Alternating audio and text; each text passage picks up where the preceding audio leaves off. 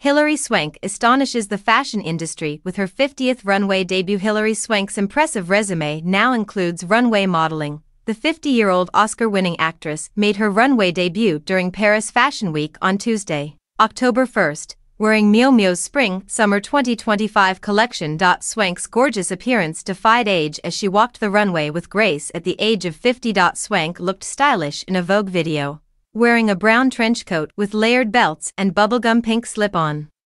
Leather sandals, her honey-hued brown hair was styled in a sophisticated half-down, half-up style that complemented her natural makeup. Swank, regrettably, didn't exactly get good feedback because many people thought she appeared uncomfortable and awkward. The show made Hilary Swank look so unswanky, even though I adore her. Maybe it was the shoes. Not sure.